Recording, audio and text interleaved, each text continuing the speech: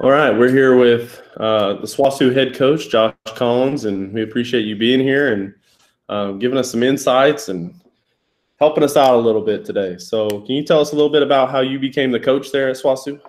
Yeah, thanks for having me, Derek. Um, yeah, I came to SWOSU in 2004. At that time, we didn't even have volleyball. Uh, I came here for basketball. I had uh, played basketball in junior college, very loose terminology there. I think I was more of a, a practice person to beat up, but uh, did have a, a short uh, basketball career in college. And then after that, I decided to come to SWOSU to be a student assistant for men's basketball. And then my end goal was to work my way up and either coach at the college game or get back to Texas. I, I came from Texas, so get back to Texas and be a high school coach. Um, along the way, though, I, I met uh, Coach Bo Palasotti. He was the coach at my junior college.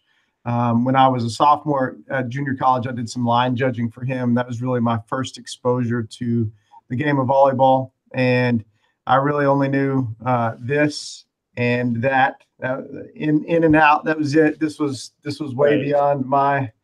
You know, I, I couldn't even think about you know calling the antenna. You know, I was that'd be way too much for me. So I did some line judging that last year in junior college, and then when I got to SWOSU, they were looking to start the program. We didn't have volleyball at the time, and I just went into our athletic director and said, you know, these guys at Clarendon are great guys. They started the program there. They're probably somebody that you should look at. And you know, a couple weeks later, they were hired, and uh, then Coach Bo asked if I wanted to be his student assistant, and I really, again, I didn't know much about volleyball, but I thought, why not? And so my senior year of college, I was a student assistant for volleyball up until basketball started, and then I was with basketball. Had a had a full time assistant job with basketball here uh, for a year, and then decided that volleyball was probably my better route, and went back to the volleyball program, and was with them as a volunteer assistant from 2007 until 2011. In the in the fall of 2011, Coach Bo announced it would be his last season. Um, and so then I took over as the head coach in the spring of 2012, and that's kind of how I got to got to volleyball. And you know, I, I, remember some of those first games. I couldn't figure out why Coach Bo kept pulling our best player out of the game, and it kind of frustrated me. You know, she would get three or four kills, and then he would just randomly take her out of the game, and I couldn't figure out why. Well, it was because she was rotating back row and she was a middle and I didn't understand rotation. I didn't understand libero. I didn't understand all of that. So uh, now I understand most of it, you know, but uh, still, I'm still learning every day and and growing my, uh, you know, my my game as well. So that's how I got involved with volleyball. Well, I like that last little bit that you said. That's kind of how you're growing your game, and we've talked about, you know, there's a lot of people that kind of put you guys on a pedestal of you guys know all and and, and you're just this so far advanced coach than us. Um, how do you, as a college coach, continue to grow that knowledge and make yourself better? Well, I think that I have an understanding that you know now it's getting to the point where uh, I started with volleyball in 05, so most of these kids that we're recruiting now they were you know three or four when when I started with volleyball. So I have been involved in the game longer than them, but for most of my career, the players that I was coaching had a better understanding of volleyball than I had. They had been around the game longer. They had, you know, played it at a much higher level than I had ever played it. And so they they understood volleyball better than I did. And I, I think I just kind of had to be okay with that.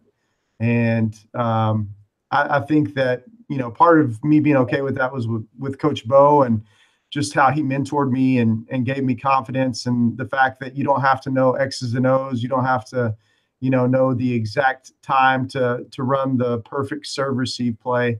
Um, it's more about building culture, and to me, you know, that's that's what separates uh, you know good, talented teams from great teams that don't always have to be talented. If you have a really good culture, um, you can beat some teams that are more talented than you, and that's kind of the you know building block that we built our program on, and we've always tried to have a really strong culture that can survive um, really tough, you know, talented athletes on the other side of the net.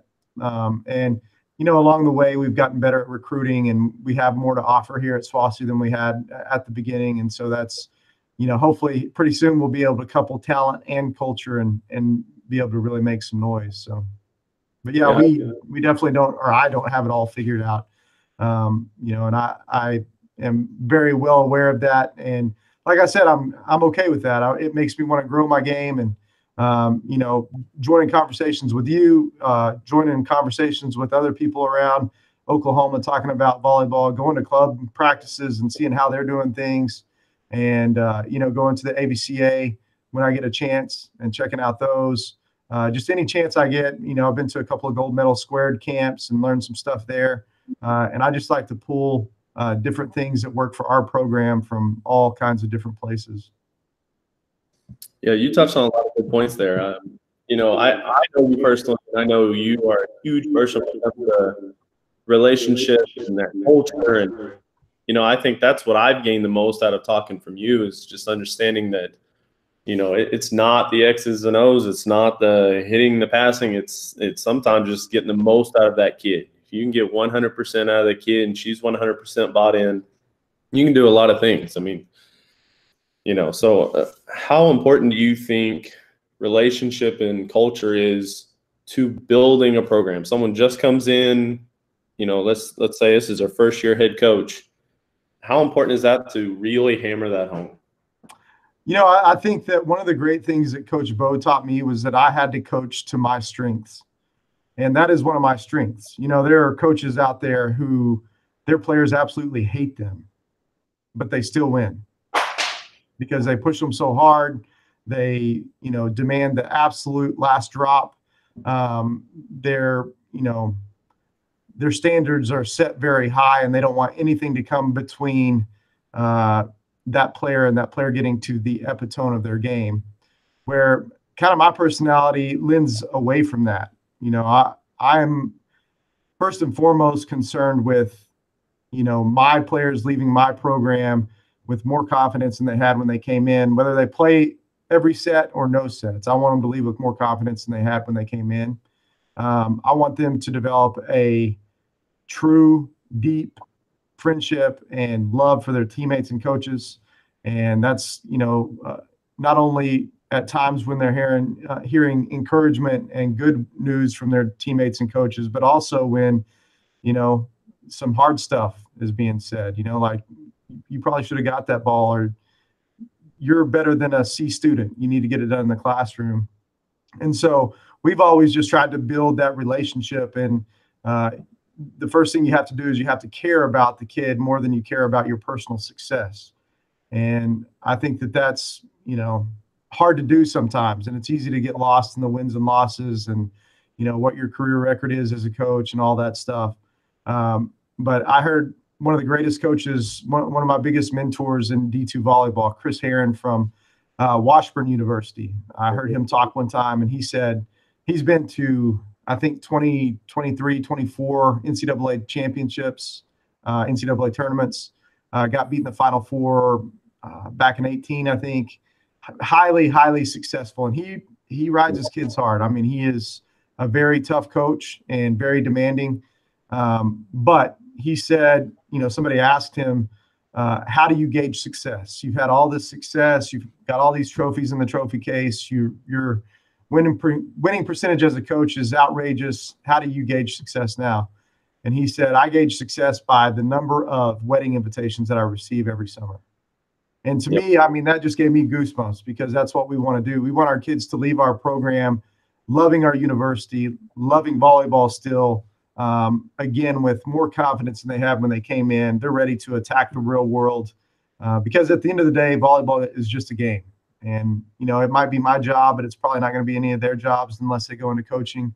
And so I hope that they take something positive from it and don't only gain negatives. Yeah, that's good. I, I 100% agree, and, and, I love the wedding invitation thing. I usually tell my kids that you know, for me, what what success looks like is: Are you becoming a um, productive member of society? Are you treating your husband right, your kids right? Are you are you becoming the person that you need to become? And you know, being able to still be part of their life down the road, you know, it that shows how much of an impact we've done you know so i love that wedding wedding invitation thing um so let's kind of shift into um, talking about some X's and O's type thing. Um, we all, especially at the high school level, and I, I know at the the college level too, is you know, we're looking for some quality assistance that can really help us and kind of um, help shoulder the load that we we carry as head coaches of the whole program. And so, what are a couple things that maybe you look for if you were you were out there just picking from a pool of assistants? Well, you know, kind of the first thing that I would look for is something to counter uh, what I do well. Yep. Um, and so I, I, am, again, more of the relational. Um, when it comes to X's and O's on the court, I typically uh, tend to stick with the defensive side of things. I really enjoy defense. Um, you know, and so a lot of times I'll look for somebody who knows a lot about offense, uh, somebody who can – you know, really get with our setters maybe. And we've been extremely lucky. You know, we had uh, Christina Darris, who played here at SWOSU, played for me, um, had a really good career here. Uh, one of the most technical hitters that I've ever coached. Uh, so she did a great job with our kids. Uh, we had Kaylee Mater here, uh, another really technical kid. Um, she's now the head coach at Missouri Southern up in the MIAA.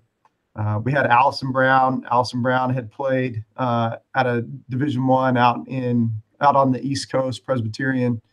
Uh, she was a right side, so she was able to really work with our kids. And we had Caitlin Ogletree, who played at Cincinnati, played at the University of Houston. Um, really, really good setter.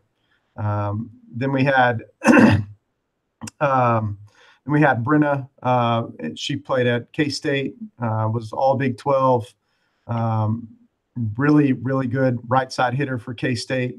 Uh, so she was able to work with our hitters, and uh, all of those kids did a tremendous job. And now, you know, I have Caitlin Dillon, who was um, our Defensive Player of the Year in our conference for two years in a row, a libero. And so this is the first time that I've had a kid who really likes what I like, and so you, you know, it's it's been really good for me because I've just kind of turned her loose with the defense and let her take uh, charge there and it's really forced me to to relearn our offense and get more involved with that. And it's been really good. So, uh, you know, I used to always look for somebody who counteracted what I would do. So somebody who's very analytical. I'm not very analytical. Um, somebody who's deep in the X's and O's who dreams about it. But now that I have uh, Kate Dillon, you know, um, I mean, she is just intuitive. She she knows what i am looking for because she played for me for four years. She knows people on campus, so all of the you know ins and outs that don't necessarily do have to do with what we're doing on the court, she can get those done. Um, but I, I think the number one quality that I I have learned that I need to look for is somebody who can make it here in Weatherford. Um, somebody who can. It's tough when you're out of college and you're not married in Weatherford. It's just kind of a smaller place, oh. and uh, all of your friends are still you know on the team probably and so they have to be able to separate themselves from you know um, you know what college students do uh, and also have to separate yourself from drama or from you know playing time drama or any of that stuff. Uh, but then also have to be very loyal. And you know we've had circumstances where my assistants thought somebody should be playing that i didn't think should be and that's fine. We will argue and we will talk it all out in the in the war room but when it it's time for us to go out to the court, that person needs to be, you know, backing up what I have to say, uh, because that'll tear down a really strong culture really quickly if uh, the differing opinions get out to the team. And so I've been really lucky with that. I've never had a coach who would do that. Uh, they've always been on board with me. Even if they disagreed with my decision, they would get behind it. Uh, but I think that that's very important. Yeah, I think that's awesome. Um, so you have been pretty fortunate to have people that know some X's knows and you know that could play back in the day. Um, what would you say to a coach that maybe gets the baseball coach or the um, you know basketball coach that don't know anything about volleyball? What how can we utilize them? I would, you know, a lot of times when I transition a player into a coach from our own program, I tell them you don't talk unless you're given encouragement. I don't want you correcting anything. I don't want you getting on to anybody. If they ask you a question, if they ask you to watch, you know, their approach or, you know, what did I do here on this dig or, you know, something like that, great. Then you can answer them. But at first, you were just developing a relationship. and I know that you know with our kids who are transitioning, okay, you've been with them for four years playing with them, but now it's different. Your relationship is different. So uh, I would tell the baseball coach, uh, you know, the track coach, whatever it may be, the same thing. If you're not a volleyball X's and O's person, don't say anything unless you're encouraging. Go out there and encourage and um, you know pump them up, give them confidence. Uh, you know, obviously, I, I don't want you to encourage them if I'm trying to correct something. You know, don't encourage them to keep doing the wrong thing, but maybe encourage them in a way of, hey, he's you know, Coach Jackson's got your interest at heart here. You need to listen to him. You're going to get it. Keep going. You know, and that's what I that's how I would utilize. And then I would utilize them in ways that you know don't involve X's and O's or volleyball. That anybody can put out a cone or you know get the net set up or you know um, put people into groups or whatever it may be. And so I would utilize them in that way. I think. Yeah, that's good. I mean, I I just know there's so many people that have those type of assistants, and we love them. I've had them, and sometimes um, there's some of the best assistants depending yeah. on what they bring to the table. Um, I had a an assistant while I was out in Clinton, and you know he he didn't know X's and O's in the slightest. But sorry, just a second. there it is. Automatic lights. you know, he didn't know X's and O's at all, but what he did know was how an athlete should carry themselves and and how to respond to me you know getting on to them like you said and correcting them. And you know he was good at understanding situations like oh that was a big point. You know i understand that's only one kill but it was at a time. You know what i mean? He yeah. understood those things. And so he really he was he was he was a great person for me to have as an assistant you know it's not always the x's and o's and we just we've got to do a better job of using our assistants to help the program. And I, I love the idea of if you do get to pick, pick someone that's not like you. Pick, pick yeah. someone who brings up your weaknesses. Their strengths are what will help match and and you know really carry the team. So uh, I love that. Um, so if, if you're using stats and you're recommending just like one or two things for a high school team to maybe start dabbling in and be like, you know what, I want to start looking at is this person a better passer or, or how well is my setter really doing? I mean, just what are a, set or a, a stat or two that you would recommend a high school team to use? Well, at the high school level and at the college level, a lot of times who wins a game, it comes down to serve and pass, right? Um, yep. So those are the things that um, I would be statting immediately at the high school level. We're pretty lucky where we have, you know, a sports information director who gets paid. He's a full-time employee who stats our matches. So we get very detailed stats during the match. So every time out, or at least in between sets, we can look and see, okay, our hitters are hitting at this percentage. Um, this is what our blockers are doing. This is what our setters are doing. You know, all of that we can see for both sides. Um, so we might be able to see, okay, this is what their outside hitter is doing to us. She's she's killing us. Where's she getting us at? Um, but those are all kind of luxuries. I, I, know that at the high school level, you don't always have that opportunity. And uh, I know a lot of people utilize their bench to, you know, take um, stats with some kind of iPad program or something.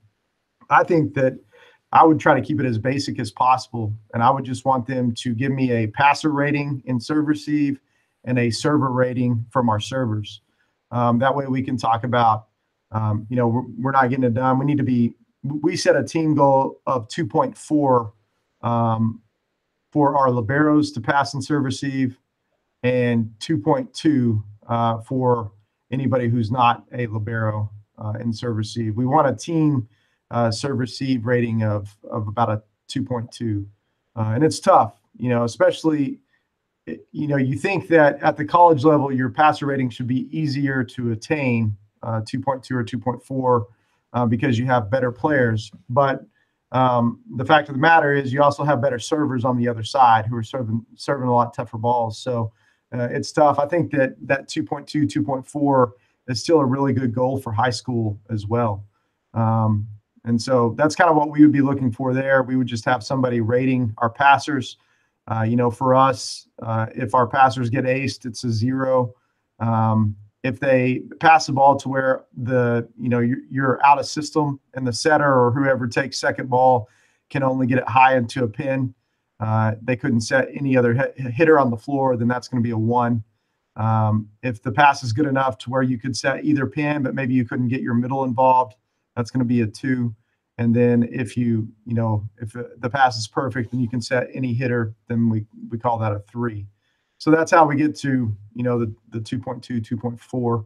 Um, if you pass the 2.4, you're, you're in system a whole lot of times, and that's going to make your offense a whole lot better.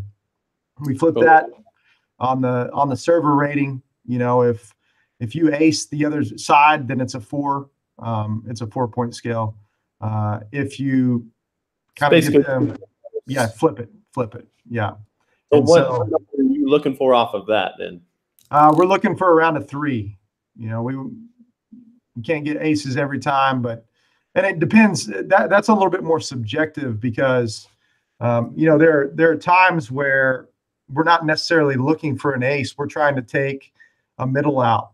You know, so if our middle is you know entering from serve receive one and she's going to run a slide there, well then we might drop a short serve down in three uh, just to get in her pathway so that she's taken out, and then you only have to worry about two hitters. So the likelihood of them passing a high ball inside the 10 foot line there is pretty good. You know, we're not we're not going at it real aggressively and short. We're just trying to get a high ball inside the 10 foot line to really mess up her pattern. And so that's going to mess with the server's rating. Um, and that's when you kind of have to come in with subjectivity and say, yeah, she didn't ace her, but she she did exactly what we wanted. So we might rate her as a, a three here instead of a two or whatever. Yeah, I think that's I think that's good because as I was talking to a couple of coaches about talking to you was, you know, I know you like stats. I know you have the ability to have that person that gives you in-game stuff, and but it's a lot of coaches. I think we understand the serve receive and how to, you know, four three two all that stuff is, but it's what number like like you already gave us is what what would be a good number to go for? Like what is, you know, we're looking at serve receive efficiency. Well, what is efficient? Yeah it, what really is a goal we we should shoot for. And like you said, I, especially at the high school level, I've been doing it since the days at Clinton. If I can get a two for the entire match, eh, we're we're in ball games. I mean, yeah. we, we have a chance to win games and be competitive. Um, and I think what you said there is important. I think that that you need to start by just getting where are you? you know, at the first of the year, where are we in serve receive? And then, you know, you can set that goal of 2.4 or 2.2 or whatever. But first, I would see where I am and see, well, if I'm starting at a 1.2, you know, 1.5 is going to be pretty good. And once we get to 1.5, then let's get to 1.8, you know, and just gradually make your way up there. Yeah, we actually just had a scrimmage the other day for my club team, and I was trying to explain to them it was the first time ever fiddling with numbers, and um, basically we played a quick little set to 15 and we passed a seven. yeah. Right? We struggled. Um, but then i asked the girls i said why are we taking this? What, what is the whole point of writing these numbers down and whatnot? And the very first thing they said was well to see if we've gotten better. So when we do it again we can see if we got better you know eventually my first thought was no i want to see how good we're doing now yeah. but I, I wow that, that was a good good catch that I wasn't even focused on is that okay, let's go see if we get better in this next set. You know, maybe that's a win for us. You know, and maybe that is for some coaches that, like you just said, maybe you're at the one two. Well, maybe two fours. That's out of the. That's too far. You know, just work your way up, and and we did. The next set we had, I don't even know, a one point eight or something, and they all lost their minds like because they understood there was growth and they then I think saw the importance of it, and I think that's that's part of it right there. Um, so I I think these are good numbers. Um, it gives us ideas, coaches, of what should we shoot for. You know, uh, we've got the numbers. We're starting to take them. They understand it. What is the goal? Where do we set that? You know, and I love the goal uh, board you guys have. I you still have that? Oh yeah, oh yeah, yeah. And we we uh, constantly kind of tweak it, and we we make it you know, this last year. So we have this big goal board in our locker room, and um, you know, we we talk about uh, we have those detailed stats that I talked about. So after the game, we can go back and look and see what our hitting percentage was, what our opponent's hitting percentage was, and I think right now we're trying to hit over 200 per match, and we want to limit our opponents to 170 or less. Uh, don't quote me on all these. I'd have to look at our goal board, but um, but then we look at things like, okay, did we have an unforced error in the last five points of any set? So then I'll go back through our detailed stats and see, okay, at 21, 22, um, you know, we had a service error that we we should have we should have been locked in right there. And we know in those last five points, you know, that's the time where we need to keep momentum on our side and go. Um, and we talk about what that means, how we serve differently, and all, all of that stuff. But this year we added one that was in the face. Um, and so, you know, if our if our hitters were able to to hit anybody in the face, which we're not trying to hurt anybody, but um, you know, that's something that you know we, we want to get up fast and we want to attack hard. Uh, we're going to put a little sticker on the board. So uh, we're constantly tweaking tweaking it, and uh, we're giving our players a chance to give some input on what should be on that goal board. And I think that that's made it really fun for us to evaluate post match. You know what happened in the match. And there's times where we go in and we say, look, we we passed the 2.2. You know, we passed the 2.2. We hit 200. Uh, those things are really good, but we still took an L. What happened? And then we can look and see, well, they outblocked us, or um, you know, they were just really good. You know, that year that Washburn um, got beat in the Final Four, we came out and we took the first set off of them, played really competitively against them, played really well for us, uh, but they were just really good. And sometimes it's it's good to look at that and say, you know, I think we can get there. We just weren't there yet. We got to keep going. Yeah, there were several times throughout this past season that we we passed. I don't even. It was like a one three, one four, and it was one of our better hitting days. Like that, it's just weird to kind of see some of the yeah. uh, how the stats start lining up. Is you would think, all right, you're passing better, you should hit better, but. There's multiple games that we won when we passed worse, but all of a sudden we hit better. So, you know, we were having a great out of system day, or yeah, you know, who knows what you you have to do with that info, but um, yeah, I think that's good stuff. Um, so, kind of flip it into high school versus college here is what are you seeing from Oklahoma high schools as a college coach? I mean, are you what are you seeing in the landscape of high school volleyball here?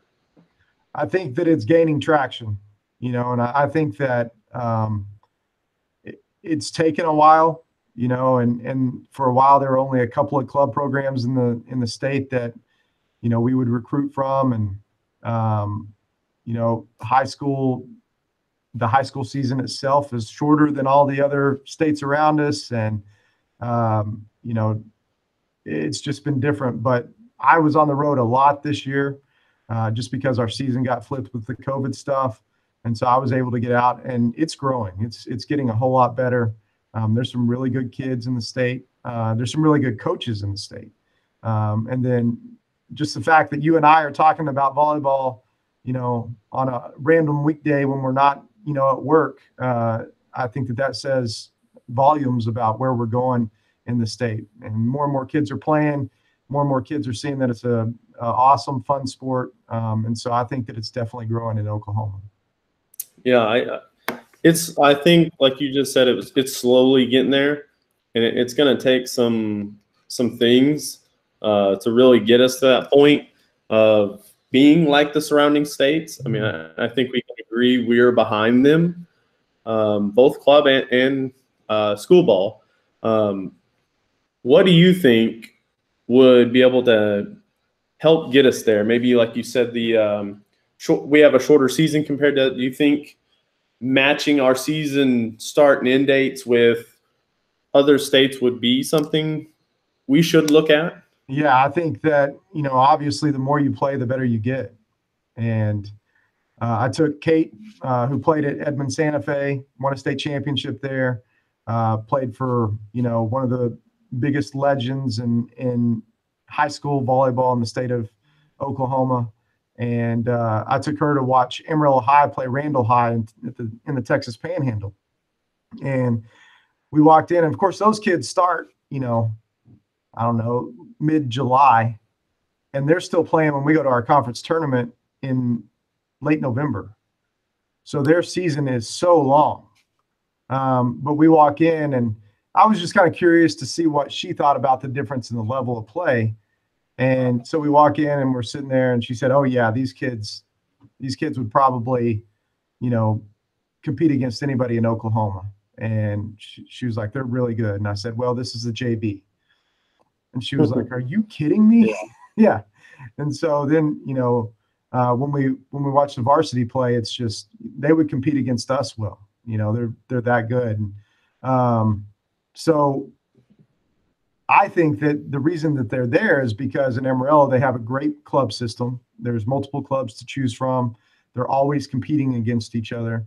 Uh, so they're playing really good club ball, but then they're playing high school ball for a long time you know, they're getting a lot of matches in, they're getting a lot of practices in, and they're just getting better and better all the time. And I think that that would grow the sport in Oklahoma if the season was a little bit longer, the high school season was a little bit longer.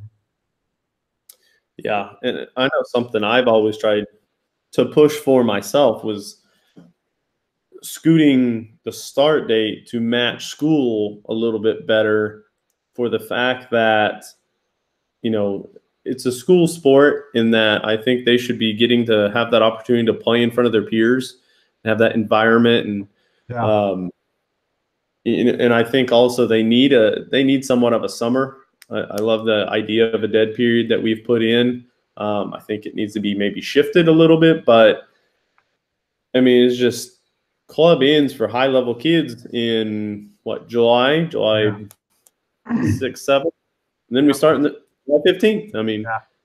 these kids don't have a downtime. And if we scooted it, they would have a little bit bigger gap there um, where they could rest a little bit and, and kind of just be a kid. You know, I, I, think that's important for some of these these athletes. Um, yeah, I agree. But I think definitely gaining ground. And I mean, you know, the, the main reason I started doing this was we sit here and we're saying, what can we do you know, and we come up with all these ideas and throw stuff around, but then it's like nothing, nobody ever does anything, you know. So I'm just going to do what I can do, which is let's talk about it. You know, let's let's give some info about to athletes. Let's give some info to the parents. I, I think they're left out of the equation too often, um, and give some to coaches. Like you said, there's some awesome coaches.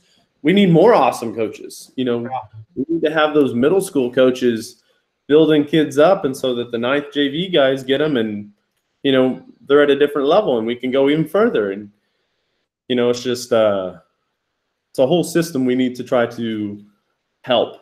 Um, so, I mean, I think, like you said, it, it speaks volume that we're just sitting here talking volleyball on, on our day off. Yeah. You know, just doing what we. Um, just to have a little fun with it. If if you were like NFL draft, you got the first round draft pick. What position? You can't say six rotation outside because everyone says that. I don't what think I would take a six rotation outside anyway. I think I'd take a setter. Why is that? Quarterback. I mean, she's you know you hope that she touches the ball every play. You know, your six rotation outside isn't going to touch the ball every play.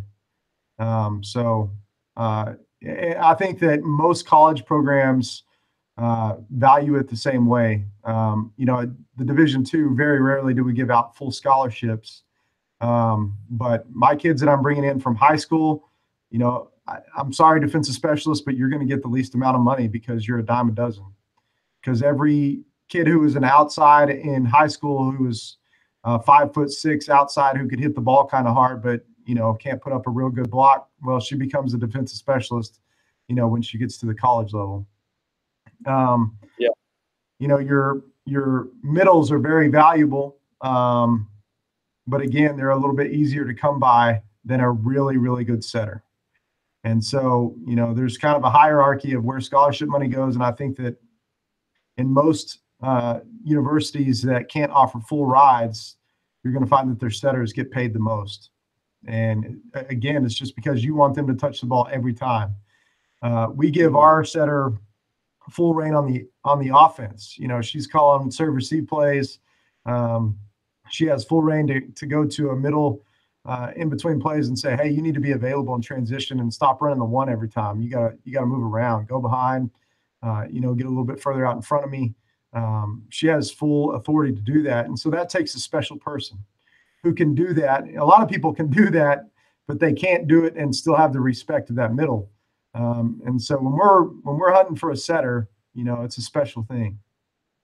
Yeah, I think that's a good point. Um, you know, setter has got to a go get to a ball, someone who has range to get their hands on a ball, and then also have range to spread it around.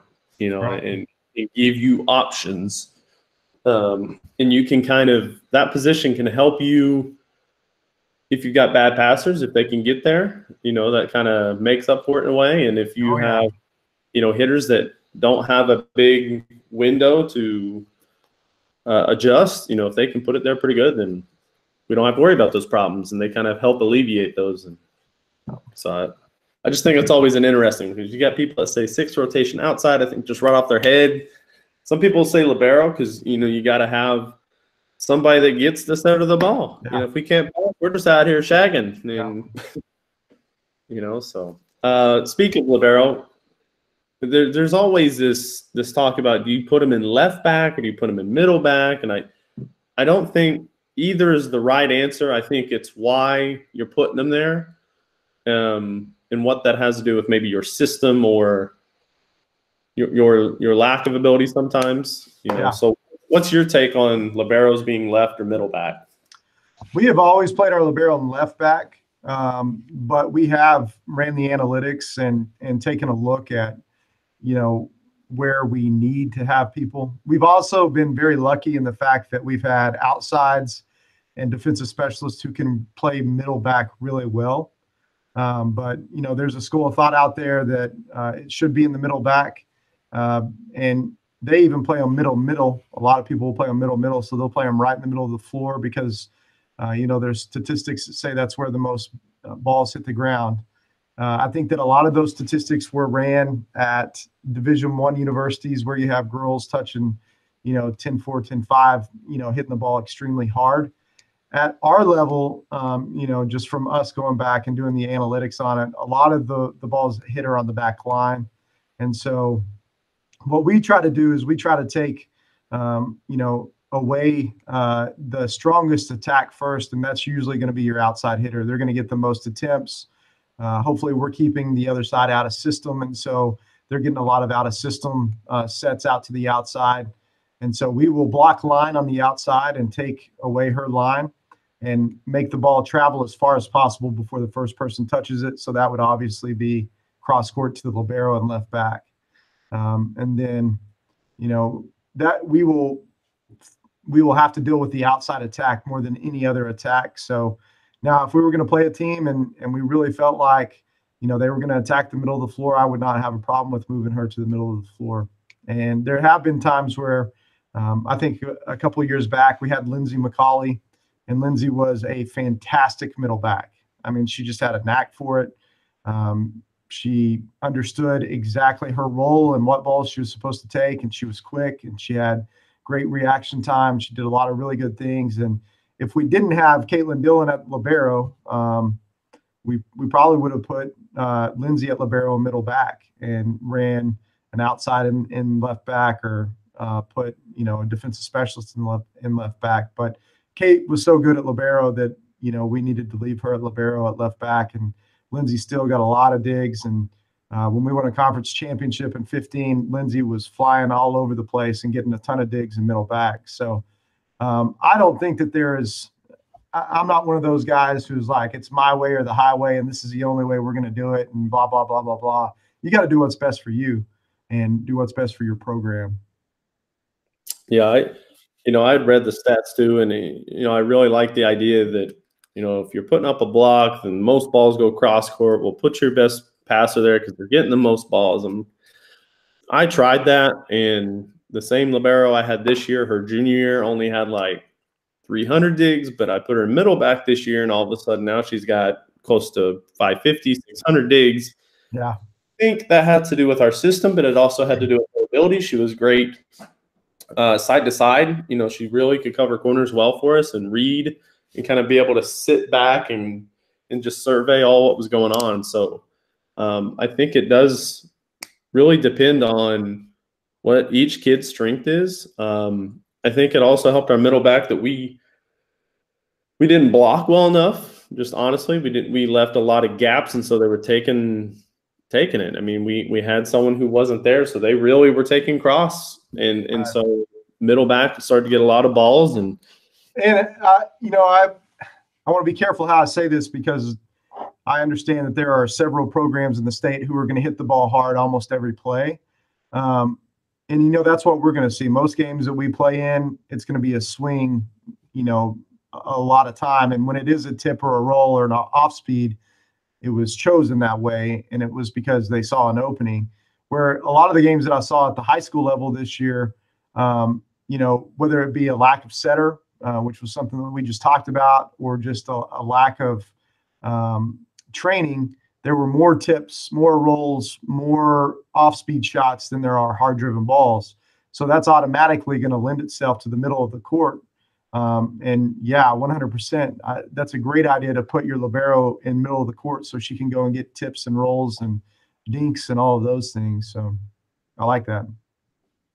Yeah, and like I said, I think I had to kind of take myself back and say, well, I thought this was going to work, but what's really working for us because our blocking isn't there is to slide that that libero to middle, and she can help us where we're hurting. Right.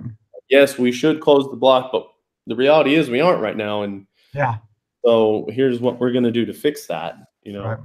Um, so uh, you kind of touched on club a little bit ago, but how do you think club volleyball factors in for college coaches in regards to like recruiting?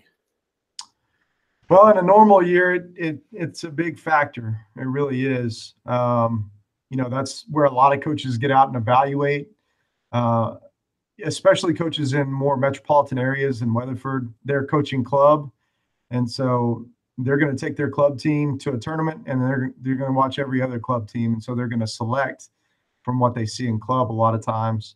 Uh, you know, we recruit a little bit differently out here just because of where we're located and some of the other job duties that I have at SWOSU. Um, but yeah, the club thing is it's very important. Yeah, I, I don't think, think, it's a do or die thing. I think there's been a lot of kids who, you know, played basketball or you know ran track in the spring and didn't have time and and still made it to the college level to play volleyball. Yeah, and it, you know, actually, I like that you brought that up because we had talked about me and a handful of coaches of do they have to play club or you know multi-sport athletes? And and you know the stats show that actually multi-sport athletes are way less likely to get hurt. They're you know don't get have the burnout factor as much. And so you know it's kind of interesting but at the same time it's hard to say club doesn't really help kids because it helps their skills it, helps yeah. you know, so it's kind of a catch 22 in a way so um, couple more is um, what is a drill that you you would think would be very helpful to maybe put in the toolbox for a high school coach? Uh, one of the drills that, and it's tough because it depends on how much space you have and how many kids you have. Uh, but one thing that we really moved to, we just talked about how serve and pass is so important, but we do serve receive ladders. Um, and uh, we do those a lot. You really have to get your kids to compete at it. Um, they have to understand because it can be a monotonous drill. Uh, it, once you get your kids to compete and they realize that they're moving up and down in the, the leaderboard, you know, we always have a whiteboard in our gym. So we, we have that leaderboard where they can see it. Um, they get to go over and, and mark, you know, how many points they score. But basically, you're just going to group those kids up, um, usually in groups of two. And so if you numbered off those groups one, two, three, and four, and one and two are a team, and and three and four are a team, um, then uh, one and two will be on one side of the net serving at three and four. Uh, let's say that they start in left back. Uh, they're going to receive uh, however many serves you give them. Uh, we typically do five. So they'll receive five serves from the other side. Um, and they're grading themselves just like we grade serve receive. So sometimes we'll put setters out there setting those passes. Um, sometimes we'll put a basket out there and, you know, we'll say, okay, if you get it in the basket, it's three points. If you hit the basket, it's two points. If, you know, you're, if you hit the floor, but it's still a ball that could have been gotten to, it's one, blah, blah, blah. Um, so they're grading themselves. They're keeping up with their own points while that other side is serving. After five, uh, they stay on the the in left back, but they switch. Um, so the the passer that was in the middle of the floor will now be on the sideline. The passer that's on the sideline will now be in the middle of the floor. Servers keep serving. They serve five more. Um, then uh, they go and write their scores down. Servers for any service errors, they are minus points. Okay. Um, the passers are they've been grading themselves that whole time. They're going to go write down their total number. Then they're going to flip. So now the passers become servers, and the servers become passers, and then you just grade it out. And so a lot of times we'll put our DSs competing against DSs. We'll put our uh, pins competing against pins, and then usually we'll have coaches serving at middles or middle serving at middle short, where we would have them in serve receive.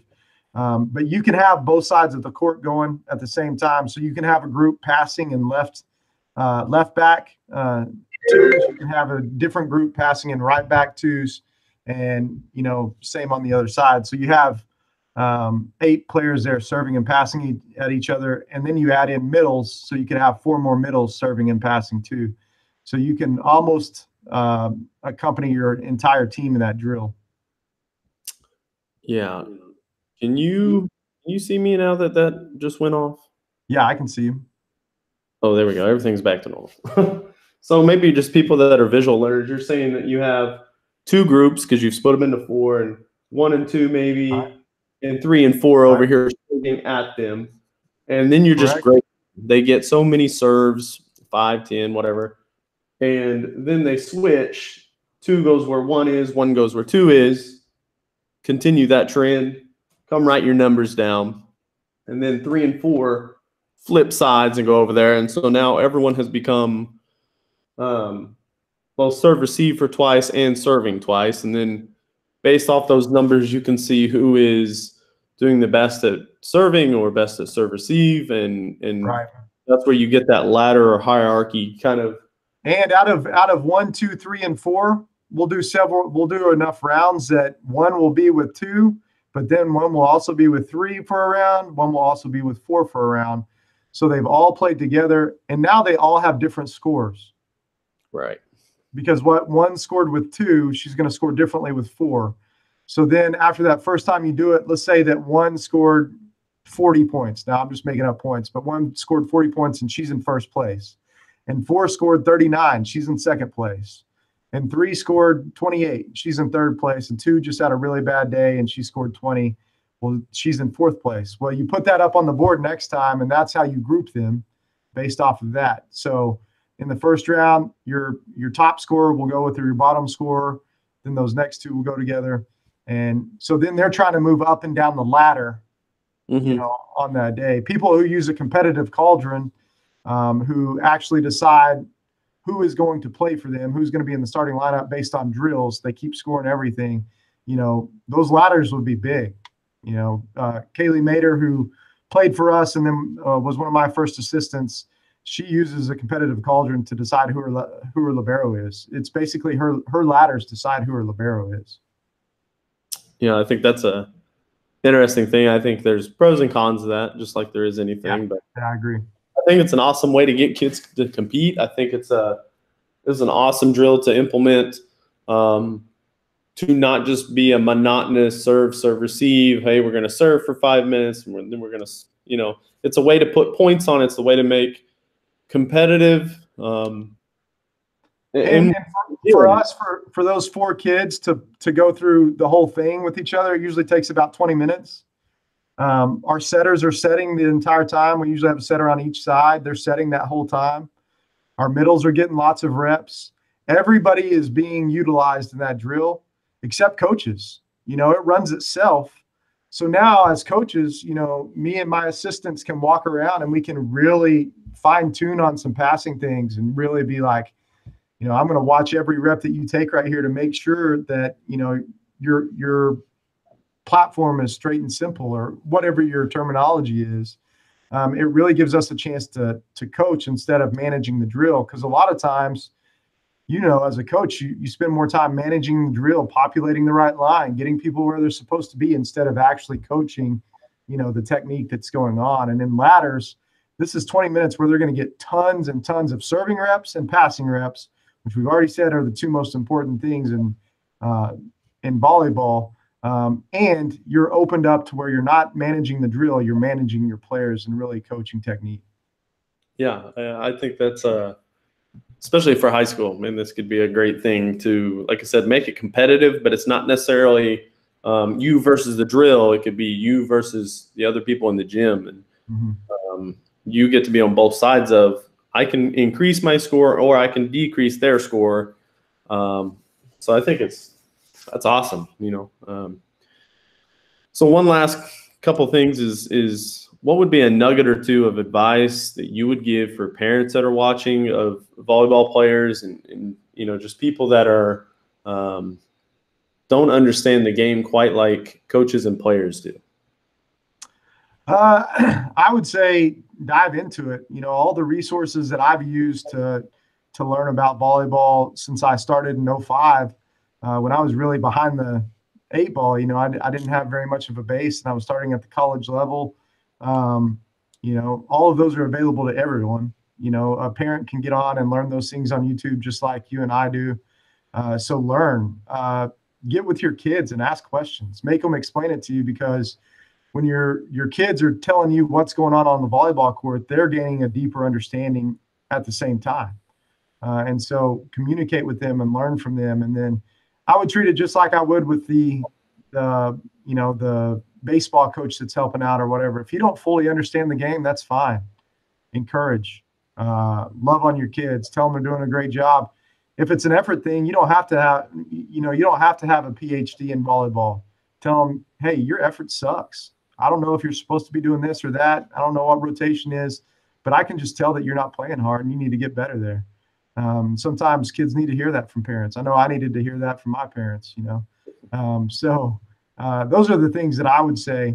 Um, and then I get a lot of questions about recruiting. You know, how, how do I get, you know, my daughter seen? How do I, you know, how do she wants to play college ball? What level should she play at? Where should she go? Um, and, you know, I, I would say get out. I tell every kid, you know, we had some really big time recruits on campus this year, kids who had – uh, lots of Division One opportunities. Uh, kids who were recruited by a lot of really good D2s. Um, and when we sat down in my office before I made them that offer, I told them, I want you to go. You know, we want you here. We're going to offer you a scholarship, but I want you to go and see, go and look, show up on campuses, knock on doors, send a thousand emails, make phone calls, make a list of your top uh, schools that you would like to play at, and then get in front of them.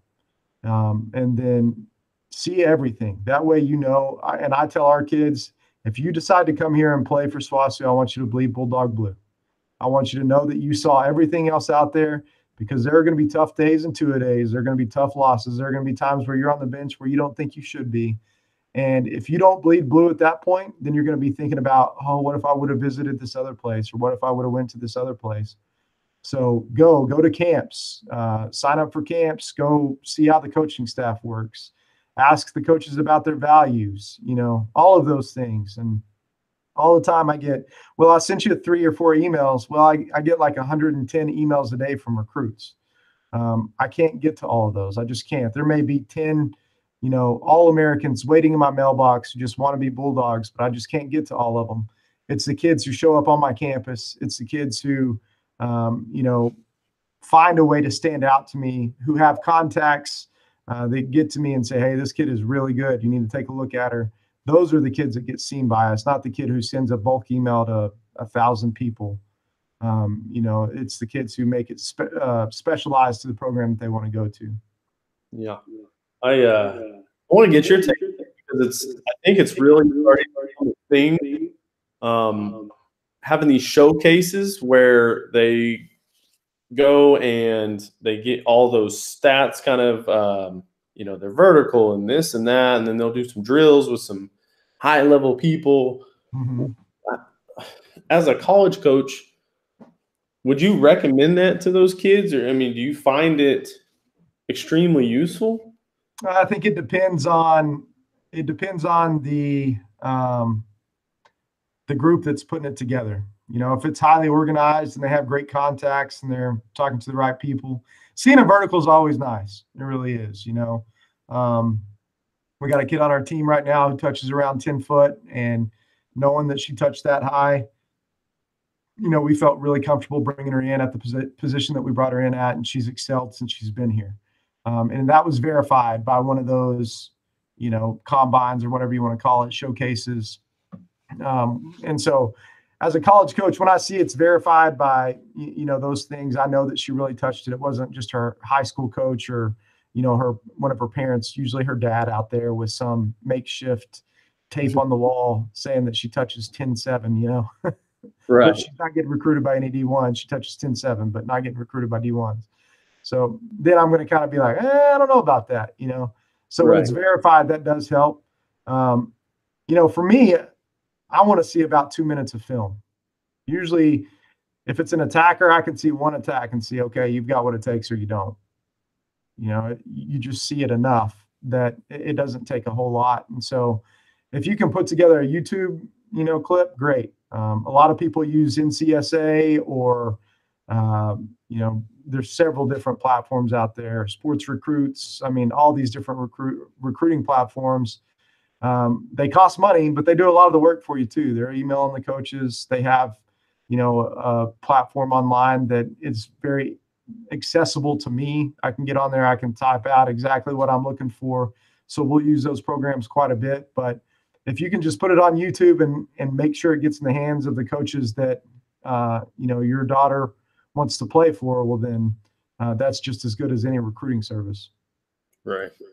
Yeah, I think that's for for parents and athletes to know. I, I know these showcases have really started to to gain some traction. I'm starting to see more of them throughout the year, kind of pop up and, and become a thing now. And yeah. Uh, you know, I have parents all the time. It's like, mm, is this worth it? Is this, you know, some scam thing? And I'm like, uh, you know, there's an abundance of places for volleyball parents to spend money. Mm-hmm. Yeah. So. Uh, one last thing is, you know, you all, you guys always have these mottos. Um, where do you get these mottos, and and do you let your team pick? Do you just pull a name out of a hat, and say this one's like? How does that all go down? A lot of times, somebody on our team will come up with it. Um, you know, we're we're going on our third year. We're going through a book uh, called Energy Bus by mm-hmm. Gordon. Yep. And uh, every year I'm like, do we want to try a new book? And they're like, no, we like Energy Bus. Uh, and it seems like you get something out of it. I've been through it probably seven or eight times now, and I, I've gotten something out of it every time. Um, but, you know, we really adapted that. We have language from it. You know, there's things that we say specifically in the gym, like, hey, you're being an energy vampire, or let's make our have to or get to. Um, you know, we really developed a language from the book. And so our hashtag for all of our pictures online, our t-shirts have it on there a lot uh, for the last couple of years has been uh, hashtag buckle up, you know, like you're getting on the bus and you're going to stay on the bus. So um, that's been a kind of our rises one in the most recent years, but we've had rises one, heart, uh, heart over hype, um, you know, I can't remember all the other ones that we have, but no, I'm not the creative genius behind that. I usually let my players come up with that.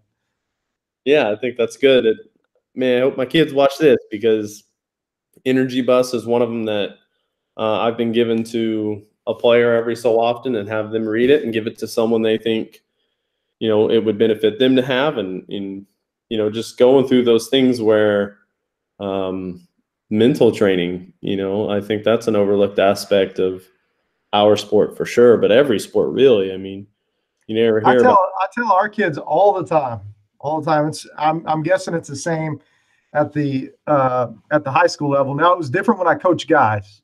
Um, when you coach guys, usually the drama that uh, occurs is because somebody's self esteem is too high. You know, guys are typically arrogant and think that their way is the right way uh, but the great thing about guys, you just put them in a room, they take shots at each other, and then they're going to lunch together the next day. what I found coaching girls is that the problems that typically happen are because of a lack of self-esteem. And um, usually the person that's receiving the, you know, the lashing out or whatever may be happening can't empathize. They can't see, okay, she is self-conscious about this and didn't like this, and this is why she's acting that way. And so we talk about that all the time. And energy bus, man, it, it just fixes all those problems, you know, because then you start loving that person, understanding that, you know, maybe they're just, you know, they have something about, you know, whatever is going on that they're self-conscious about and their self-esteem is a little bit down. And so they're going to react this way instead of reacting the way that you want them to react. And I don't know. I just really like that book and, and it's been great for us. No, yeah, it's awesome. Um, and it, I loved it. And I immediately started handing out to my players and, and you know, give it, give it to them, have them read it, have them talk to me about it. You know, what did you understand from it? What did you, you know, what, you know, just all those things and have them have a better understanding of, like you said, how much energy and culture you've already talked about is important and empathizing with people and um, picking each other up, you know, being there for them and, you know, kind of saying, Hey, jump on the bus here real quick. And, you know, yeah. let me get you pep. Let me be the driver, you know, yeah. like, you know, uh, so that's awesome. But well, that's all I got for you. And you know, we all appreciate it. I appreciate it. I know you um, always there to help me out with with some things, and I hope this has helped some other people out. And um, you know, you're an awesome coach. You're an awesome person. Um, you know, I just wish you guys the best, and I appreciate you jumping on here with us. I appreciate that, and I appreciate you putting this together, and feel the same way about you. And if I can be of help to you or anybody who's watching this, please feel free to reach out. All right, I appreciate it. All right, thanks, man.